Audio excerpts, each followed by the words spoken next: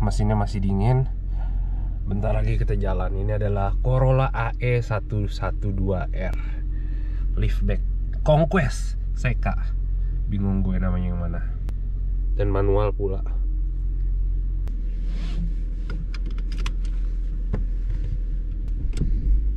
Ini kalau musim dingin kayak gini nih ditungguin juga mesin kagak panas-panas. Lama banget panasnya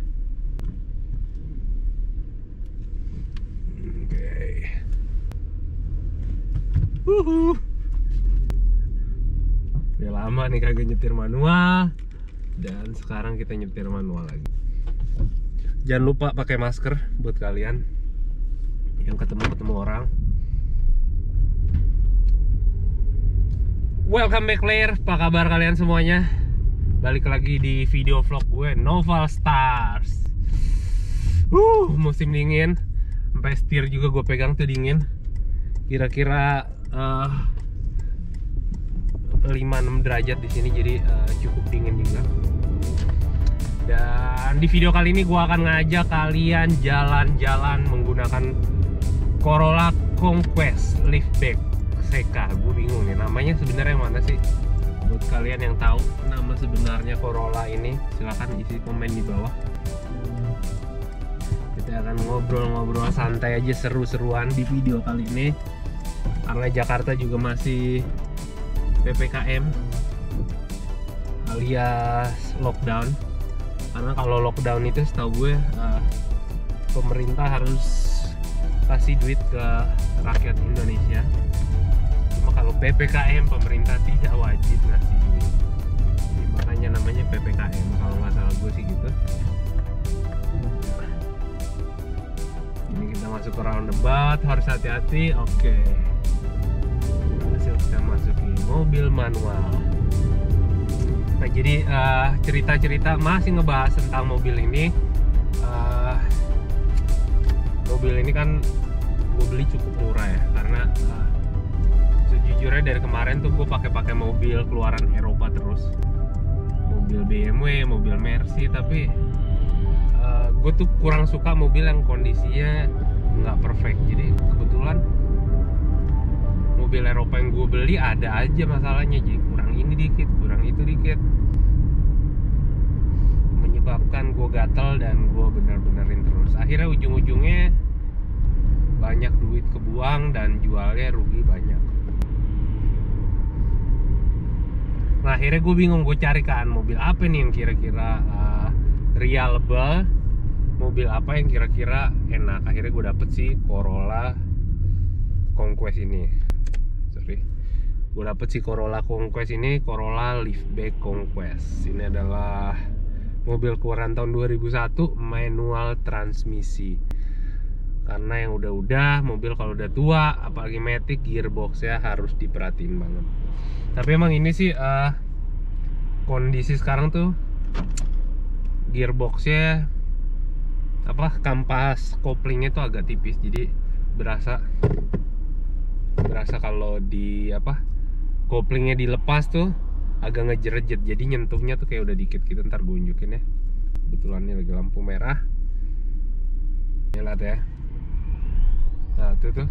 Ngejerejet gitu. Gasnya gue gedein tambah ngejerjet kalau gas tambah gue gedein gue lepas pelan-pelan kopling tambah ngejerjet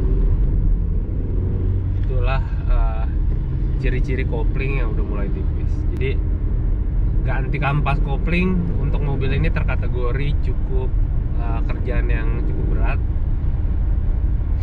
Karena biayanya itu biaya jasa gantinya aja sekitar 500 dolar paling murah atau yang average lah gitu yang kerjaannya tetap bagus. Itu average nya 500 dolar. Tapi kalau yang kerjanya bagus banget maksudnya workshopnya bagus tempat yang lebih mewah jasanya sampai 750 dolar jadi agak mahal. Di luar spare part. Jadi kalau total-total sama spare part sekitar uh, kampas kopling ini spare partnya kalau yang KW kemarin gue ditawarin itu sekitar 750 dolar. Jadi in total 1250 sedangkan kalau di Jakarta ongkos ganti kampas kopling sekitar 1 juta satu setengah juta harganya barangnya sendiri tergantung barangnya yang apa. Yang original ya tentunya harga lebih mahal atau mau yang aftermarket harganya lebih kompetitif. Ya, ini gue nyetir di speed 80 km per jam RPM 2800 mobil terasa enak dan enak sih mobil. Jadi Corolla ini tuh uh, beda sama kalian naik Vios. Kalau kalian naik Toyota Vios atau naik uh, Corolla yang baruan Altis yang baruan itu bodinya terasa enteng banget. Sedangkan Corolla ini menurut gue masih terasa bodinya berat. Jadi kalau dari kemarin gue bandingin sama mobil BMW M46 gue uh, Corolla ini nggak begitu jelek banget dibandingin ya jadi ini so far cukup nyaman nih mobil dan cukup smooth ya. Tapi karena ini adalah suspensinya McPherson jadi ini bukan yang independen. Jadi jangan coba-coba kalian pendekin dengan pot kit atau potong sedikit potong per atau dengan setup suspensi yang seadanya. Oh, panasan jadi kalau kalian setup suspensi yang seadanya maka uh, bantingannya akan menjadi keras banget. Ini ngomong-ngomong mulai gedek gitu tuh tuh tuh berasa kayaknya piringannya sudah mulai bergelombang. Piringannya sendiri sekitar 500.000 sampai 1 juta lah harga di sini kanan kiri di luar ongkos pasang. Ongkos pasangnya nggak mahal sih. Jadi ini dia kondisinya. Bisa jadi piringan atau bisa jadi kampas ya. Mungkin ya. Kalian yang lebih ngerti silahkan isi komen di bawah kita ngobrol-ngobrol santai aja. Ini kondisi jalanannya kayak gini di sini mudah-mudahan kalian bisa lihat dengan jelas.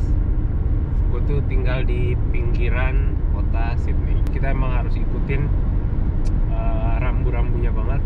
Kalau tulisannya 80 ya 80 maksimalnya. Lebih dari itu bisa kena denda kalau kena polisi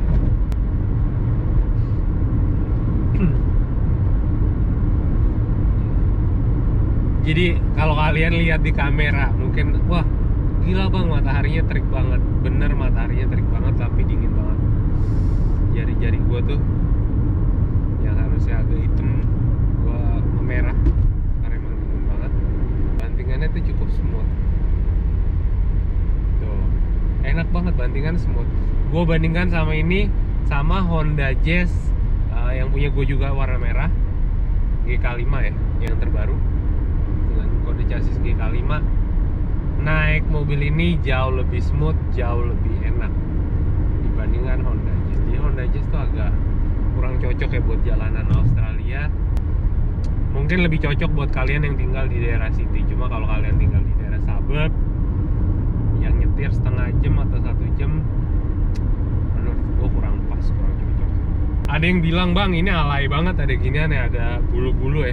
Gue baca tuh di komen gue emang bener sih kelihatannya alay tapi ini tuh kepake banget di musim winter. Jadi ini kayak apa ya? Jok tuh kayak nggak dingin jadi eh, nyaman banget.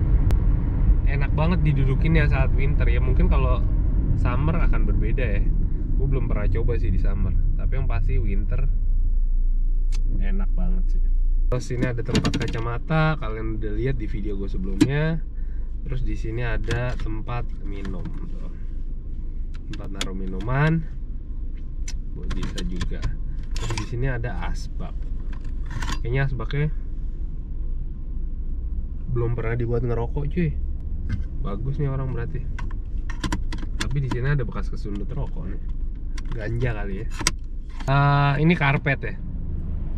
Kalian pasti wah bang ini kok karpet aneh banget penasaran gitu kan. Nah tapi eh, tuh koplingnya udah mulai habis jadi kalau kalian tahu karpet ini ini kan matahari bright banget ya. Australia tuh terkenal matahari yang sangat bright. Karpet ini sangat amat meredam. Coba gue cabut ya karpet. Nah. Tuh. Begitu karpet dicabut ini dashboard Corolla nih agak mengkilap ya dan mantul di mata tuh jadi nggak enak. Jadi ini emang bener ada manfaatnya bukan cuman gaya-gayaan bener-bener ada manfaatnya ada part numbernya lagi jadi emang bukan sembarangan